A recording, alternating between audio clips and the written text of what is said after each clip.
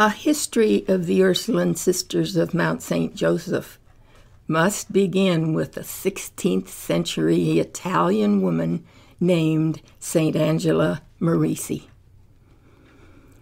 Italy in the 16th century offered women little chance to achieve any leadership or authority in their lives, nor could they live their spirituality in the world. Then Angela Merici came along and opened new doors to the women of her time and today. Angela was born in 1474 in a northern Italian city of Desenzano along Lake Garda, about halfway between Milan and Venice. Italy was in constant turmoil during these changing and unstable times of the Renaissance. Women of St. Angela's day had only two reputable choices becoming a bride of Christ and entering a cloistered religious community, or getting married. St. Angela offered a third way to live. Angela's goal was to elevate the family life through the Christian education of future wives and mothers. Ursulines were the first teaching order of women religious. Angela taught her companions to be consecrated to God and to be dedicated to the service of their neighbor while remaining in the world, teaching the girls of their own neighborhood and practicing a religious form of life in their own homes. They wore no special habit or dress and did not have formal religious vows. Angela's beginnings were humble. In 1476, Angela's family moved to the farm where she grew up. Her father read to his children about the lives of the saints which made quite an impression on young Angela.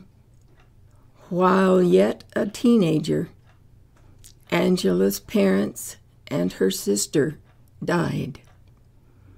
She and her younger brother moved to her mother's hometown to stay with her uncle and aunt. During this time, Angela had a vision of a procession of singing angels and young girls, including her deceased sister. This assured her that her sister was safe in heaven with the saints. Angela joined the Third Order of St. Francis in 1494, founded by Francis of Assisi for lay people who wished to dedicate themselves to a life of service to God.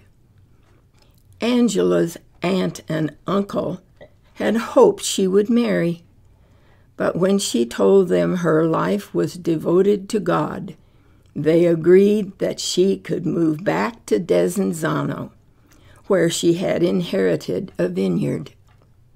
During the olive harvest, young girls climbed ladders, leaning against the trees to shake the olives loose.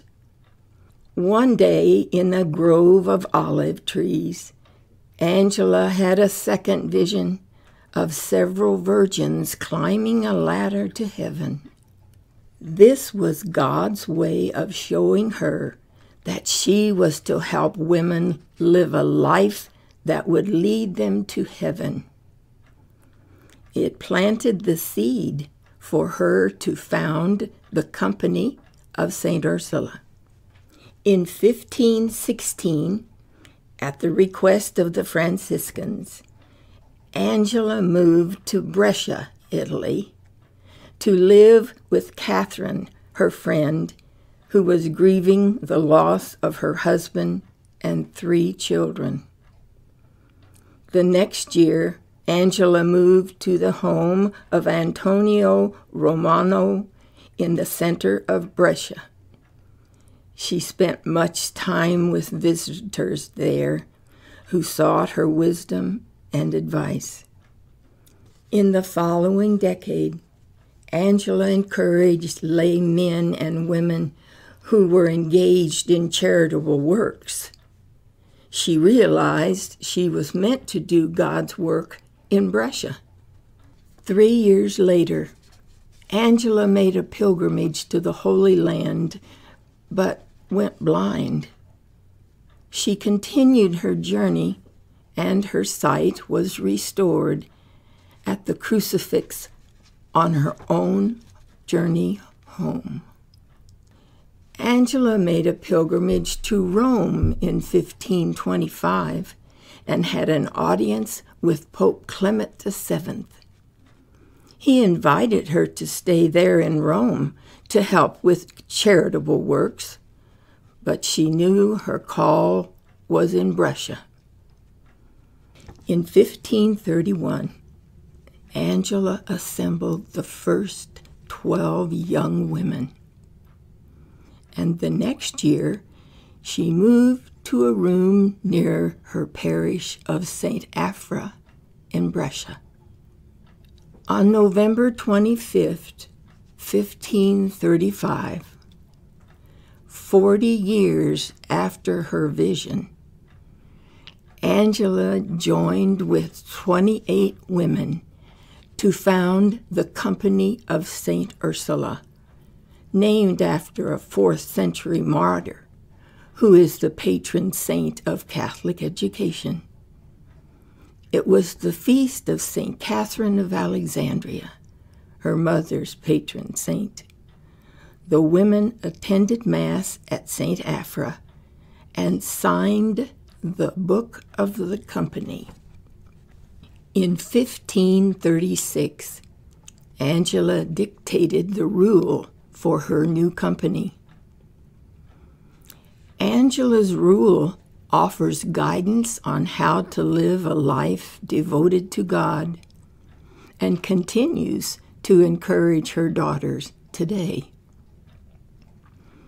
The prologue says, Therefore, my sisters, I exhort you or rather, I beg you and entreat you all, that having been chosen to be the true and virginal spouse of the Son of God, you be willing, first of all, to recognize what such a thing implies and what a new and astonishing dignity it is. On March 18th, 1537, the first general chapter meeting took place for this company of St. Ursula. Angela was elected Mother Superior for life. Just two years later, Angela fell ill. She dictated the legacies and counsels before she died in Brescia on January 27th, 1540, while still yet in her 60s. At her request, she was laid to rest in the crypt of St. Afra, near the burial site of many early Christian martyrs. Today, Ursuline sisters do not consider Angela merely a historic figure. They continue to quote from her legacies and counsels and to seek the direction she promises would come. The counsels were directed to the leaders of the community that would follow her, detailing how to care for the sisters in that community. The introduction of the counsels contains Angela's perhaps most quoted advice Have hope and firm faith in God, for He will help you in everything. Act, move, believe, strive, hope. Cry out to Him with all your heart, For without doubt you will see marvelous things if you direct everything to the praise and glory of His majesty and the good of souls. Her last counsel implored her sisters that you live in harmony, united together, all of one heart and one will. Be bound to one another by the bond of charity, esteeming each other, helping each other, bearing with each other in Jesus Christ. She assured them, I shall always be in your midst, helping your prayers. Perhaps the most radical idea of Angela Merici comes in her last legacy.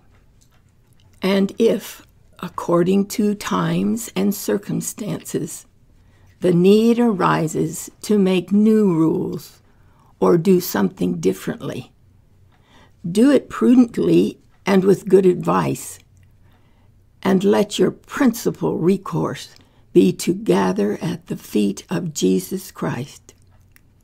And there, all of you, with all your daughters, to offer most fervent prayers.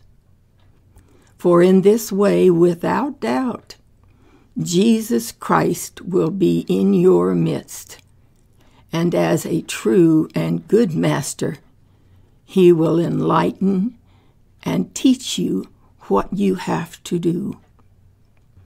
The rules of religious communities in the 16th century were practically written in stone.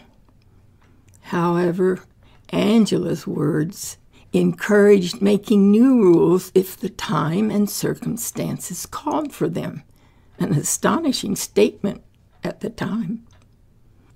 On June 9, 1544, four years after Angela's death, Pope Paul III formally approved the Company of St. Ursula. Angela Merici was canonized in 1807 by Pope Pius VII. Her feast day is January 27th, the anniversary of her death. She is the patron saint of the sick, the disabled, the physically challenged, and those grieving parents. When the Church of St. Afra was nearly destroyed during World War II, a new church was built on that spot and named for St. Angela. Her incorrupt body is on display there.